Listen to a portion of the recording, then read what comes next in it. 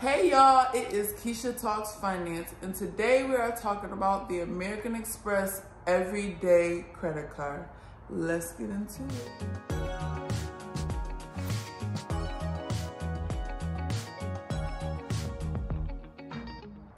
Okay, first things first.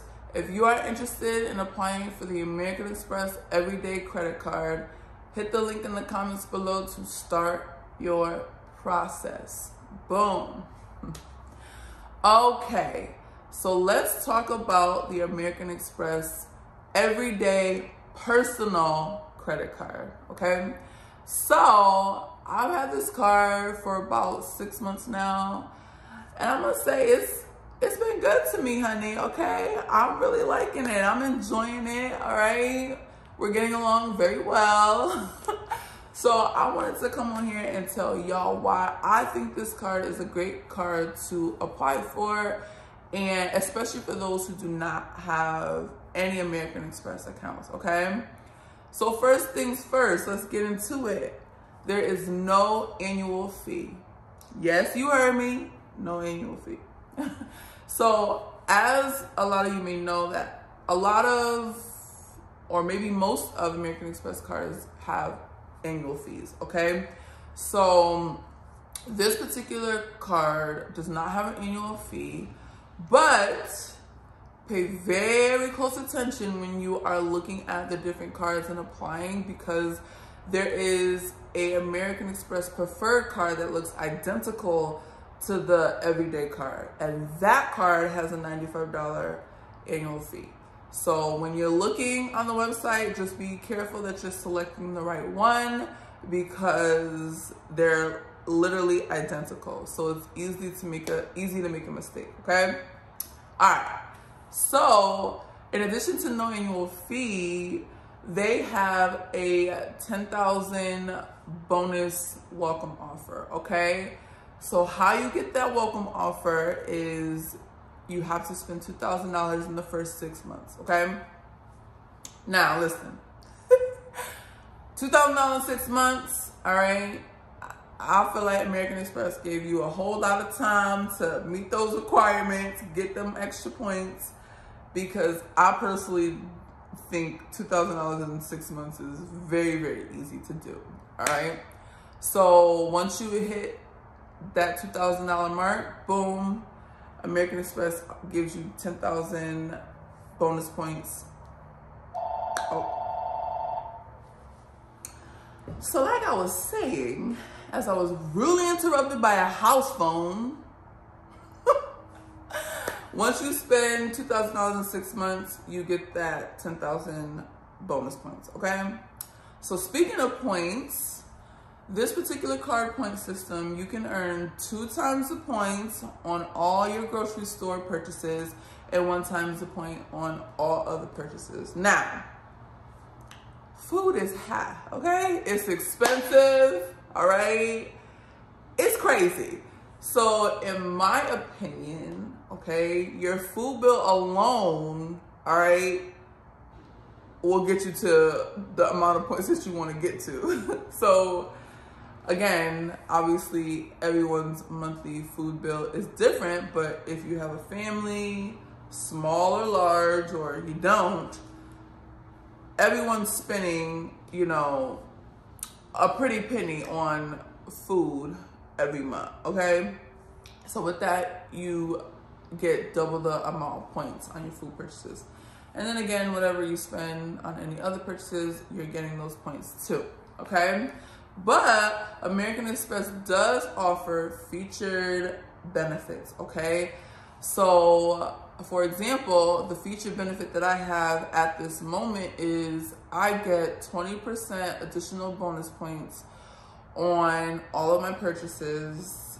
And all I had to do was use my credit card at least 20 times in the first, in the, sorry, at least 20 times in a billing cycle, okay? So I use my card 20 times in that billing cycle and they say, hey, on top of the points that you already get with this particular card, we're gonna give you an added feature benefit. We're gonna give you additional 20% in bonus points, okay? Just because you're doing what you're supposed to be doing, honey, okay? so I'm earning the normal points that I earn, and now I get a little bit extra, all right, just for using the card, okay? So that's something to also keep in mind. So I'm just rack up the points, rack up the points, all right?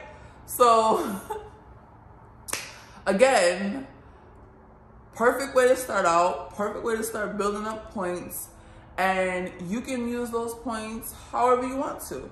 So some of the ways you can use your American Express points is obviously you can use them as cash, okay? So if you say, hey, I got 20,000 points and I want to use those points as cash on my American Express bill.